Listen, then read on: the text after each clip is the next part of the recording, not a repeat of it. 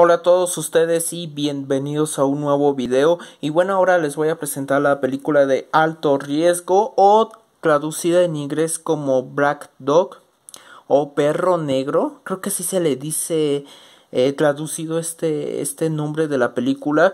Bueno, pues aquí la tengo finalmente VHS. Esta me costó barata. Esta me costó yo creo como unos 20 o 30 pesos a través de Facebook porque agarré una, una promoción de dos películas por 100 pesos y creo que ya me incluía en el envío. Así que sí, fueron más o menos eso ya con el bio. Y pues aquí está la película. No la he visto aún todavía, pero le voy a dar una oportunidad porque esta película yo la veía desde pequeño. Era, era, la, era para mí la mejor película que yo había visto de acción. Porque aquí hay unos como tipo trailers. Eh, les voy a explicar más o menos de qué va esto. Es que creo que a él, él conduce uno de estos y lo quieren matar.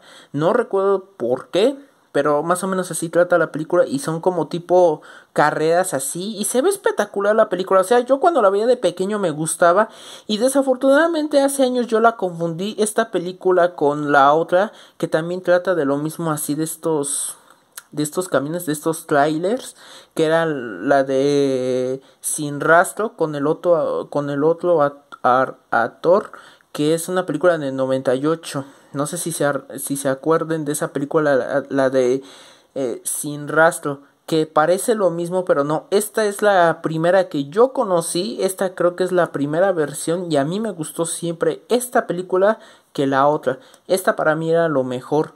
Desafortunadamente desconozco si en DVD o en Blu-ray incluye doblaje al español latino porque si lo tenía. Esta pasaba mucho antes en el canal 7 cuando sí pasaban películas muy buenas de acción y bueno, yo desconocía también que esta película es distribuida por eh, Videomax. Y otro dato aquí curioso es que dice que esta película también es propiedad de Universal Pictures. Eh, eso es lo raro de esta película. Y es con este, eh, este actor Patrick Schwag que es el mismo que hizo la película La sombra del amor. Creo que desafortunadamente este actor ya murió por ahí en, en el año 2010 o 2009 aproximadamente. Muy bien, vamos a sacar aquí rápidamente el cassette. Y aquí está la película en muy buenas condiciones. Me parece que la cinta no, no raya, no hay ningún problema. repito, no la he visto esta película, pero la voy a ver. Tiene años que no veo esta película. Ha de tener como unos 8 o 9 años que no veo esta película y la voy a ver nuevamente. Ojalá lo hubiera conseguido con doblaje latino, pero creo que no existe. Y en el canal 7 sí las pasaban con doblaje latino.